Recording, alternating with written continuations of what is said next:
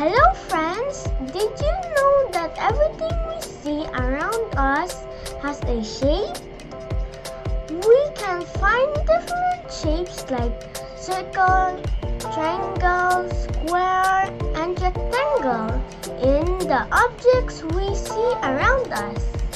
Let's learn more about shapes. What shape is this? Right. It's a circle. And it has no side. Ball, coin, and clock are circle in shape. What shape is this? Correct! It's a triangle. It has three sides. Patihad, a slice of pizza and a watermelon are triangle in shape. What shape is this?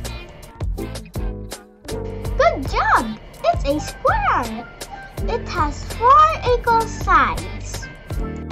Gift box, handkerchief, and cushion are square in shape. What shape is this? Rectangle. It has four sides and corners. Books, laptop, and table are in rectangle shape. What shape is this?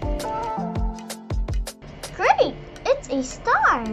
It has 10 sides. Starfish and lantern are star-shaped. What shape is this? Yes, it's an oval. Just like a circle, it has no corners.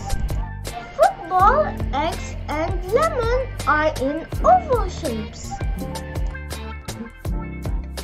Good job, kids! We learned about basic shapes. Circle, triangle, square, rectangle, star, and oval. See you on my next video. Goodbye.